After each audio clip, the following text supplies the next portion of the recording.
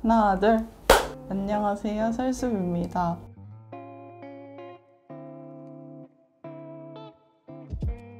솔숲은 제 이름과 숲을 더하여 제가 만든 숲이라는 의미를 담았습니다.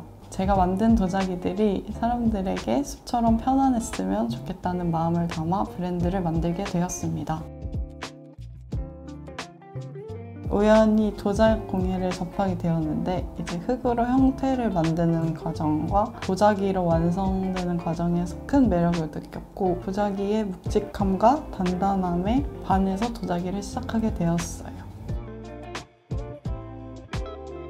브랜드를 대표하는 제품엔 흰나무와 몽그리가 있는데요. 흰나무는 묵묵히 지켜보면서 응원해주는 작은 나무 친구예요. 머리는 스칸디아 모스 머리로 구성이 되어 있고 흰나무의 이름은 보고 있으면 힘이 났으면 좋겠다는 의미를 담아서 짓게 되었습니다. 몽그리는 동그랗고 시크한 표정이 매력적인 친구예요. 흰나무와 마찬가지로 다양한 머리로 변신할 수 있습니다. 흰나무는 일단 먼저 물레 성형을 이용해서 형태를 먼저 만들어주고요. 뒤집어서 바닥을 깎아서 정리를 해줘요. 그리고 팔을 만들어서 붙여주고 잘 마르면 사인을 해줍니다. 초벌 가마에 한 번 굽고 난 후에 얼굴을 그려줘요. 그리고 얼굴이 다 그린 후에 가마에 다시 넣어서 2차로 소성을 하게 되면 도자기가 완성됩니다.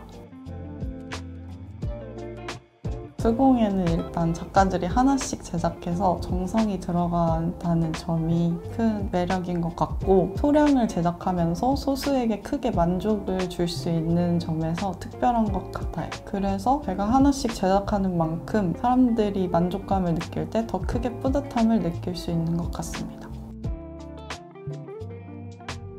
저희 브랜드를 나타내는 키워드는 작은 숲입니다. 제가 만든 도자기들이 작은 숲처럼 구매하신 분들께 지친 일상에 편안함과 휴식을 선물하면 좋겠다는 의미를 담았습니다.